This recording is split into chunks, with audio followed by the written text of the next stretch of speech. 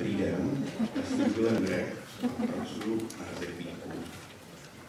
Pracuji tam už 12 let. A chtěl bych vám eh, prezentovat takové moje úspěchy, nejen na Rezervíku, ale i v mém životě. A pak, tak jak říká ta přednáška, tak potom bude taková jakási syntéza těch přístupů, co bychom měli do budoucna krajině dělat. Já zatím mluvím pomalu, ale potom, až se rozjedu, to bude velká kadence, že se omlouvám. Trošičku můj coming out, já trpím ADHD, takže v momentě, kdy se to potom rozjede, ty myšlenkové pochody, tak to potom bude velmi rychlé. Panka si mě nejspíše vybrala kvůli tady tomu článku, nebo v mém článku v časopisu Sedmá generace o obnově, kde jsem sepsal takový rozsáhlý článek, jak to vidím s tou ekologickou obnovou. A tam eh, ukazují různé eh, přístupy toho, jak tu krajinu obnovovat. Ono ve skutečnosti ta obnova krajiny není pouze ta těžba, tak jak vidíte na tom hledním obrázku, ale týká se to eh, řady činností, řady procesů v krajině vůbec. Zásadní, co je, je krajinu můžeme obnovovat, eh, eh, nebo je to takový, taková výzva na dalších 100 let. A my se můžeme snažit eh, jakkoliv, ale pokud nad tím nezačneme přemýšlet, tak a nedáme tomu nějaký koncept, nedáme tomu nějaké rozměry, tak to sledování bude takzvaně od nikam. Zásadní, co je, co tak spatřuju, je to, že je to sice výzva na 100 let dopředu, ale není to vracení se, ta ekologická obnova, vracení se na 100 let zpátky, protože to, co bylo v naší krajině, už nikdy nevrátíme. Vždycky, když já začnu no, takové věci doma říkat, tak moje mamka vždycky řekne, dřív se taky svítilo petrolejkama, takže mm, ten návrat úplně není, není, není možný i tady z toho hlediska, že když eh, bychom porovnali tady eh, věci, co se týče eh, sečení trávy, tak to je tabulka, kterou jsem zpracovával pro jednu přednášku o, o tradicích v krajině, tak tam je taková ukázka toho, že my vůbec ty tradice nemůžeme hledat, protože vlastně neexistují. Je to třeba v případě sena, že dřív se seno prakticky všechno skrmívávalo. Nebyla možnost toho, že se to nechávalo na polinu namoučované, dneska je to odpad, dneska se no skoro nikdo nevyužívá. A pro nás třeba jako ochránce přírody je to velká zbytečnost, protože to seno třeba nikde neudáváme. Já začnu takovým postupným, postupnými příklady, jak já jsem se vůbec k tomu všemu dostal. No to začalo asi tady na té mojí zahrádce, Šumicích, eh, kterou jsem převzal už v roce 2000 od mých rodičů a začal jsem tak nějak budovat. A vždycky mi to říkalo, že čím to bude rozmanitější a nebudou tam pouze ty jahody a brambory a mrkev, tak čím víc to bude rozmanitější, tím to tam začne fungovat. A ono ejhle to začalo fungovat a dneska ta zahrádka je bezúdechová. Eh, prakticky tam třeba vůbec nemusíme, nemusíme zalívat, eh, ono si to je vlastním životem a je to stabilní. Jediné, proč to není stabilní, je to, že eh, občas tam přijde nějaký soused, stromy, které tam jsou, mě, přeláme, takže já pak potom píšu různě v novinách a, a v televizi jsem, uh, jsou o tom pořady, jak někdo v Jelenburkovi eh, v Šumicích někde u Uherského brodu přelámal stromky na malinké zahrádce, která uh, má i rozměrech asi 8x12 metrů. Uh, další takovým náznakem pro vůbec uh, ekologickou obnovu a vůbec to, ty procesy byl oheň. Ten mě provází celý život. Takové potvrzení bylo to, že jsem diplomovou práci zpracovával v Českém Švýcarsku na téma požáru lesa. Potom jsem nastoupil na rezekvítech, tak to už byl takový švung, tam, tam pálím v jednom kuse, třeba na ostatní straně Kumořan pálíme, pálíme seno už asi tři týdny v kuse, ještě se nedobrali zdárnému zítřku. Každopádně, tak jak je tam uvedené, oheň má dodnes v krajině jakousi svou roli. Především je to role té ochrany přírody, které se zabývám a právě proto spatřuji ten oheň jako velmi důležitou věc. Velmi velkým takovým, takovou mou inspirací byly přírodě blízké rekultivace po těžbě, na které se specializuje Rezekvítek už přes, přes 20 let a já jsem tady do toho poměrně rozjetého vlaku naskočil a začal jsem se taky věnovat té ekologické obnově v momentě, kdy jsem nastoupil na Rezekvítek v roce 2009, tak teda přímě řečeno o ekologické obnově jsem skoro vůbec nic nevěděl, na to, že bych něco viděl o přírodě blízkých rekultivacích po těžbě, ale postupně mě to tak uh, zahltilo, že uh, jsem uh, tomu podlehla a je to jedna z mých nejoblíbenějších činností rekultivovat. Další takové moje oblíbené je kamenný vrch. To jsou řady různých přístupů, ať je to záchrana té největší a světové populace koníklece velkokvětého, potom záchrana toho samotného biotopu, který nám v 60. letech, letech zalesnili. No a trošku, tak jak se tady prezentovala časopis Veronika, prezentoval se školní lesní podnik, tak já si tady trošku zaprezentuji projekt Nadáme na vás, koníklecový chodníček na Kamenném vrchu, což bude jeden z největších projektů vůbec na Kamenném vrchu, to je přírodní rezervaci kdy se pomocí dřevěného chodníčku pokusíme zachránit tu populaci koníklece velkokvětého. My nezachráníme pouze koníklec, ale zachraňujeme i kytky, jako je třeba hadinec, nachoví a šparda panonská.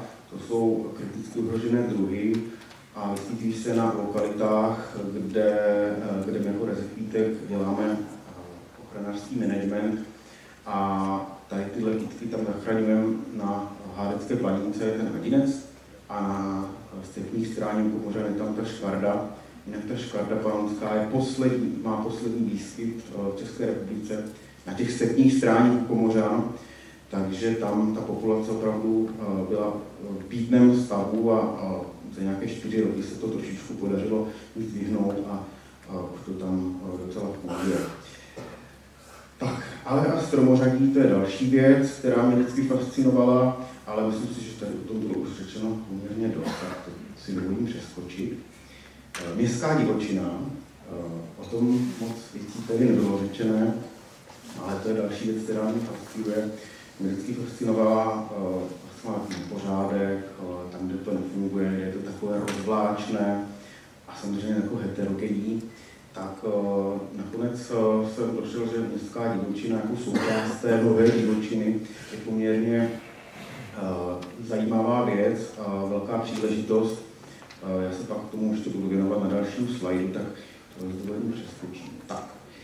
A pojďme na nějaké takové jako eh, přímé věci, které se týkají té ochrany krajiny a ochrany biodiverzity a vůbec. Ochrana přírody nejsou jenom kytičky, ale jsou to taky biotopy, jsou to taky populace a je to samotná krajina. No, to všechno do toho, do toho spadá. Myslím si, že jedním z vážných takových problémů v současné ochraně přírody je ten větší spor těch ochránců přírody, jestli máme chránit druhy, nebo máme chránit ty biotopy, nebo naopak chránit celou krajinu. Právě proto jsem to nazval jako integrovaná ochrana přírody, tak abychom se věnovali podle potřeb toho, co je na daném místě potřeba v tuto chvíli a do budoucna chránit. To znamená integrovaně a diferencovaně opravdu cílit tu ochranu přírody. Zapomenutým, zapomenutou věcí ochrany přírody jsou procesy. Ať už je to ten oheň, nebo jsou to různé povodně, různé tornáda, které jsou teďka populární, nebo jsou to taky, taky, je to tak, může to být taky sečení pastva a podobně. Je to důležitá součást, která z dnešní krajiny, dnešní krajiny pomalu a jistě mizí, především z té kulturní krajiny a to je, to je velký problém. Někteří dokonce, někteří ekologové případně ochránci přírody říkají, že ani ty druhy, ani ty habitaty, ani ta krajina uh, není, tak, uh, není tak ohrožená, jak jsou ohrožené ty, ty samotné procesy. Ale já když jsem psal tady tuhle přednášku, tak jsem si nakonec uvědomil jednu věc, že my musíme stejně jak k tomu ohni tak přistupovat i ke všem těm procesům, takže tady ty procesy jsou dobří sluhové, ale často jsou zlí pánové.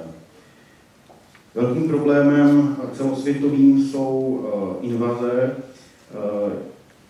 Dokonce mezinárodní, mezivládní panel pro biologickou rozmanitost v roce 2019 vydal zprávu a invazní druhy tam označuje jako pátý největší, pátým největším ohrožením světové biodiverzity. Například klima je až na třetím místě. Na prvním místě samozřejmě změna a úbytek, úbytek těch vodních biotopů. Trošku se vracím k tomu, k té problematice procesů v krajině bez, bez, samozřejmě bez té péče, bez toho ochranářského managementu bychom neměli kamenný vrch, neměli bychom pouzdřanskou step, neměli bychom spoustu biotopů, spoustu chráněných území bez toho, aby se o ně pečovalo. Takže tak, jak tam uvádím, chceme-li chránit přírodu a chceme-li obnovovat, chceme-li, chceme-li ekologicky obnovovat, tak musíme, musíme o ní pečovat. Bez toho to nepůjde a je to velmi, velmi velký problém. Samozřejmě jsou to lidé, lidé nám taky mizí v té krajině, proto je potřeba obnovit i, ty, i ty lidi v krajině.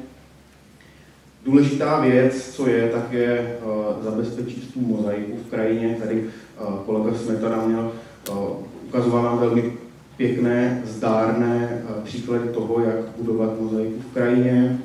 Já jsem to dokonce povýšil na to, že my potřebujeme tu eh, krajinu dokonce atomizovat, to znamená, potřebujeme ji rozbít. Na takovém příkladu, který tedy mám taky z nějaké prezentace, tak je ukázka toho, jak lze eh, půdní bloky eh, během chvilky rozdělit tím, že prostě ti vlastníci dají těm zemědělcům výpověď. Ale taky eh, v té krajině potřebujeme dřeviny, ale je to takové moje jedno z těch hesel, nezalesňovat, ale spíš ozeleňovat, to znamená soustředit se na ty polní cesty, eh, na různé malé, drobné plošky uprostřed, uprostřed krajiny. Eh, tak jak říká Lukáš Čížek s Jirkou Řehounkem, vysadit strom na každou volnou plochu není univerzální dobré. Potom je to adaptivní, adaptivní a ochranářský management, je to trošku složitější tady, tady s tím, takže to bych možná nechal případně do nějakého diskutního kroužku, jak to vůbec je, ale je to, je to poměrně důležitá věc. A potom je to hledání funkčního potenciálu. Sice je super, že chráníme přírodu, super, že chráníme klima, ale ten případný hospodář by neměl upustit úplně od toho, od toho hospodaření, od toho nějakého ekonomického zisku. Mělo by to být vyrovnané. Takže je potřeba hledat, hledat ty, ty potenciály v podobě nějakého funkčního ekonomického efektu, ale taky třeba protierozních úprav, hospodářského využití, ale taky estetiky té krajiny, anebo taky nějakých sociálních, sociálních faktorů. Úžasným a takovým komplexním nástrojem, jak to řídit, jsou eh, agrolesnické systémy, eh, které, eh, které jsou poměrně teďka moderním nástrojem. V České republice se, začínají pomalu prosazovat, ale například ve Francii, ve Španělsku, v Portugalsku, a je to už poměrně, poměrně rozběhlá, rozběhlé systémy, kde to, kde to funguje. No a taková věc, subvence městské divočiny. Ta městská divočina nabízí opravdu velký potenciál, ať už je to pro biodiverzitu, ale taky pro zmírňování dopadů změny klimatu. A dokonce je to opravdu podpora té biodiverzity, takže na, na jednom vídeňském hřbitově Eh, jedna z největších populací křečka polního eh, v Rakousku, takže jsem tam byl eh, v srpnu se podívat a tam po náhrobcích pobíhají křečci. Je to takové velmi rozmanité, přitom křeček je třeba u nás zvláště chráněným druhem. No a abych to ukončil, tak je to o tom, že, že bychom měli tu, tu krajinu, měli bychom se zaměřit na tu krajinu, která je opravdu potřeba a, a si brát to, že je to vždycky ta krajina.